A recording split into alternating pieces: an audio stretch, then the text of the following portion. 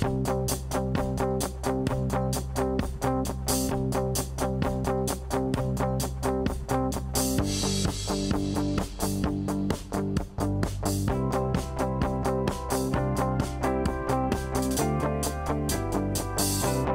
you can find lots of developers at startups and uh, universities and big companies.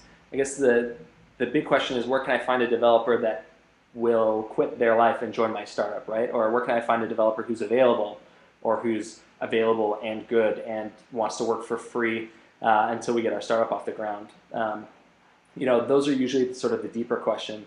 Um, you know, I can only tell you from our experience where we found our developers. Uh, initially, so Dave, uh, you know, I found him through Hacker News. We started working on things. He wanted to start a company. We became friends. He was working on other things. I was working on other things. When this uh, Contently materialized, basically it was a matter of getting him to buy into the opportunity and the vision. Um, so that's how you know our CTO and co-founder came about. How we found the next few developers for our company uh, so Dave knew people from undergrad uh, who were working at uh, consulting companies. So you know these giant um, firms, basically crews of developers that go in and, and build software for, for big companies. Um, in a lot of cases, those places have people who've been there for a long time. They get recruited out of college, get paid very, very well. They're really good uh, at, at uh, programming.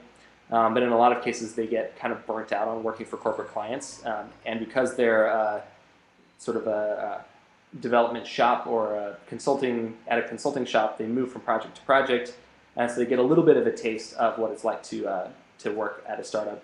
Uh, but in a lot of cases, they're very unhappy with sort of the, the corporate environment, at least the certain the right kind of developer that you want for a startup. So we found two people from uh, so through Dave's uh, undergrad connections. Uh, fantastic developer that he knew was working at a consulting company was getting tired. We recruited him, basically stolen from them. And he had a friend who was at another branch of that same company who's getting tired, who was thinking about quitting, so we hired him when he quit. Um, then, you know, our other developers and other sort of product talent we found, we actually have looked, uh, so we're in New York City. I don't know how many of you are in big areas like New York or San Francisco where there's sort of this arms race for development talent.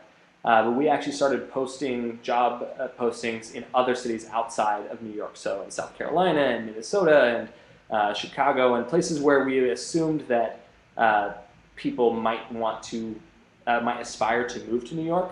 And so basically we, we posted uh, job listings, you know, if you're willing to move to New York and we'll relocate you, you know, we are looking for developers. And so basically then what, what you do is you try them out remotely.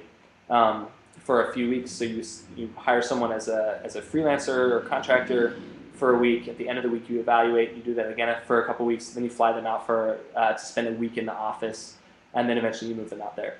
Uh, we found that to be easier, uh, to be honest, than trying to recruit inside New York City, where everyone is looking for developers. Um, so that would be sort of based on my experience, uh, my advice for finding a developer. Now, finding a developer who's good and figuring out that they're good uh, is another challenge. You have to know your stuff. You have to have someone on your team who can evaluate a developer, but you really need to work with them uh, for at least you know a few weeks before you can really see if there's someone uh, who can hang in a startup environment uh, on your dev team. Thank you.